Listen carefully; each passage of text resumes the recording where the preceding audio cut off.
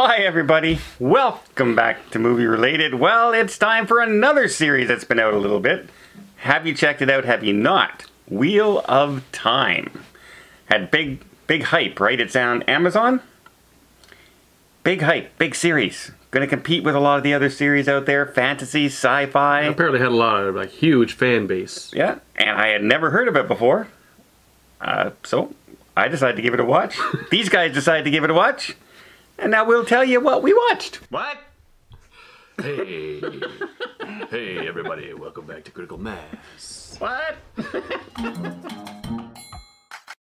okay, Wheel of Time. First off, I kind of recognize the actress, the main actress, but I don't.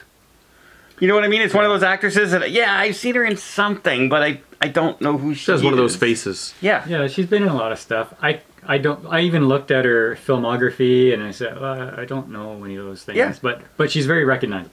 Yeah. And uh, so I'm I don't know anything she was in. yeah. But it's like one of those characters that you see. So those actors that you see, yeah, lots of things. I just don't know what. But um, I had, I knew nothing about this. Did you know anything about this series before you Well, started? for you to not know Wheel of Time, like this is one of the biggest fantasy series of novels ever. See, I'm more into fiction than for my novels, right? I do a lot of Napoleonic era stuff. I hadn't heard of this either before the No? series. Okay. Yeah, it's a very popular series of books. Okay, why don't you give us a little rundown of what the series is about? Uh, there's a dark one, and this dark one has the power to uh, destroy or save the world. The dragon. the dragon. Uh, and this dragon, uh, I guess, is reincarnated over and over and over again. You don't know if it's going to be a boy, you don't know if it's going to be a girl. There's this group of uh, lady wizards who hunt down men who show uh, magic potential, and they divorce the magic from the man because when men get magic, they go mad. And, and so now they're looking for who is the reincarnation of the dragon. And uh, they narrowed it down to five people. Those five people are on a quest to go And- confront. The dragon might not know they're the dragon. No, the dragon. They don't know who the Yeah. dragon is yet, uh, and they're on a quest to go confront the Dark One, who is going to destroy everything. And season two, or uh, uh, the second part of the Season two. we, we already reviewed the first half. Now we're going into the second half. Right. Okay. Um, for something I knew nothing about, I enjoyed this series. I enjoyed the story. I enjoyed the lore of why it's female magic and not male magic. It made sense. I, all of a sudden, the the one, the false dragon, shows up. I like that guy. I like the way he acted that role. That that kind of quiet crazy, not over the top crazy and all that. Just that it, like it it worked for me. It was creepy and eerie, and I said, ah, I like this character. Just It was actually believable that he could have been the dragon. yeah. Yeah. Yeah, spoiler alert.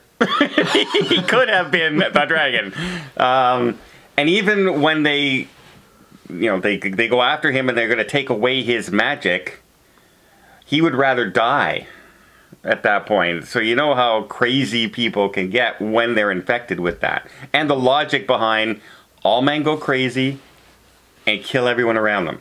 All their loved ones, everything. So that's the reason that they keep it away from the male mm-hmm. population. Yeah. What did you think about the companion aspect of it? Like the, the guy who was always assigned to to one of the witchers, like one of the magic users. The. Witchers. Like Uh, like the sword fighter in this one. Uh, what do you mean? What do I think of them? Well, what did you think of that Great kind job. of aspect of the story? That they have these followers who are uh, who bond with them, kind of thing. Yeah, I, I thought it was interesting. Like it was, it was great. It, there's one particular episode that went into a pretty emotional part of it. Like it went pretty heavy in Mm-hmm. Well, you can episode. see that you can see that the bond is not just a, a, a light thing. It, it Yeah. has a lot of meaning to them. Like it's it's actually emotionally based. It's not like oh, it's a job. Yeah. Yeah. and they go through a ritual to to do the bonding. So it's more. It's also a little bit of magic thrown in there. But there's one episode where one of the people assigned to one of these in these bondings passes away, and you see the reaction to the guy over the course of that episode. and it you can just see that you can feel the pain that that guy's going through. For that episode. I had a bit of a difficult time with this series because I kept thinking, no matter how hard I tried, I I kept thinking of the Sword of Truth series from Terry Goodkind, right? And the books or the that whole TV. world, the the books, okay. right? So that that sort of like the how the magic is interacting and how people use it, and and so I had a hard time separating the two, right? And I, I got to read like it's not the same universe, but I kept that's what I kept referring to in my mind, right? Uh, we already reviewed the first half. Now let's talk about like they're all at the the the big tower, okay, and now they're going to go off and find the Dark One. So, what did you think about Moiraine being exiled in that whole audience chamber thing? Well, I I under like she was exiled, but she requested it.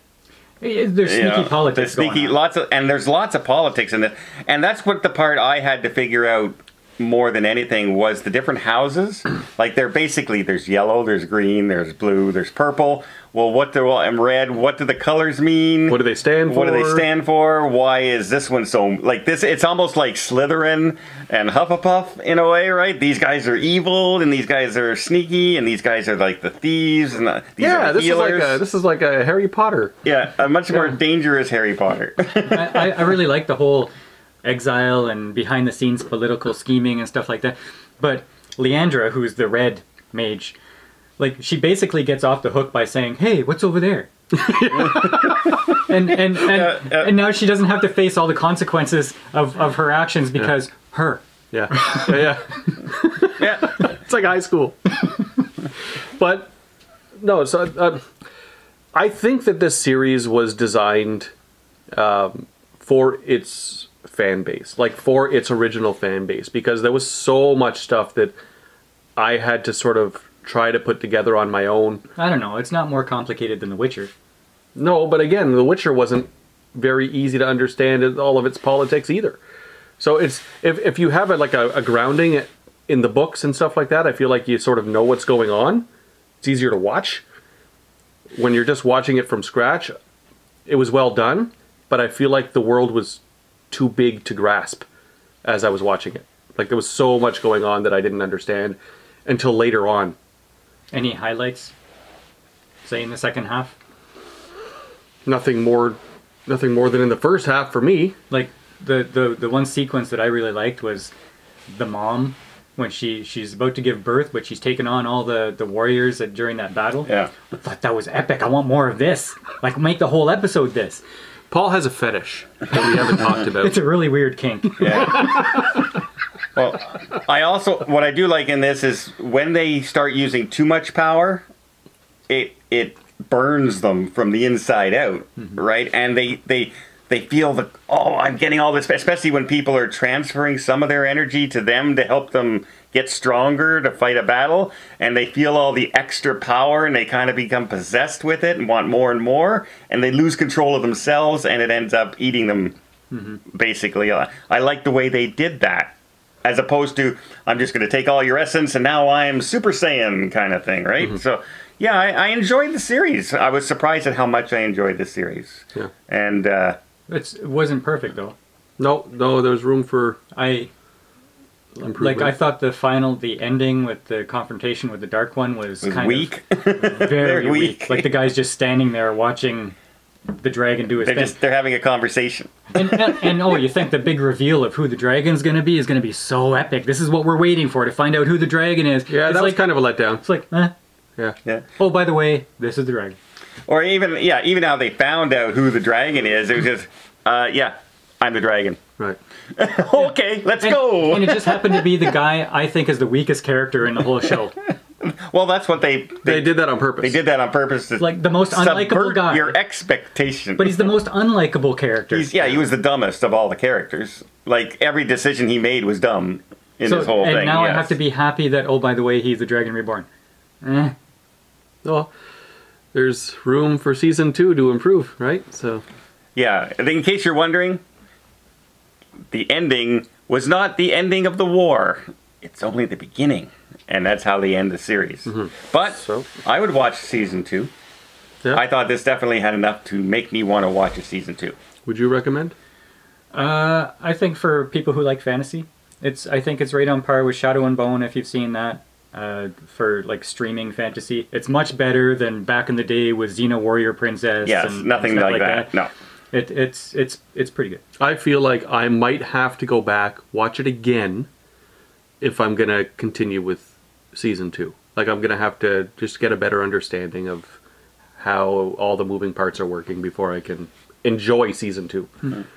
I kind of hearken it to a little bit milder, much milder Game of Thrones kind of thing, with all the different political. Much my Much milder, yeah. It's not near the violence or anything like that. And this and- this is a very PG show. yeah, yeah, absolutely. But I mean, like this, the way it's set up with a different intrigue and against this person, against that person, sort of set. So there you go. What would you give it?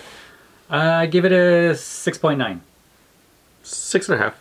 Uh, I'll give it a seven. I, I enjoyed it for a first season. It, it's definitely enough for me to want to You've watch actually again. you actually enjoyed it apparently more than I thought you would enjoy it, Which- which surprised me. Yeah, I, I did not mind this show at all. I watched it all in two nights. So that you, when I can binge something that long, that means uh, I enjoyed it. Good. So give Wheel of Time a try. Tell us if you know the main actress. What else has she been in? Because you're going to look at her and go, "I know she's been in something." I know that and she face. has. You just you just won't remember what. And what was your favorite part of the whole season? Like like is there something that stood out to you? Yeah. And let us know what you thought about the ending. Because we think probably the ending was the weakest part of the whole show. And until next time, we'll see you on the channel. What? Hey, hey, everybody! Welcome back to Critical Mass. What?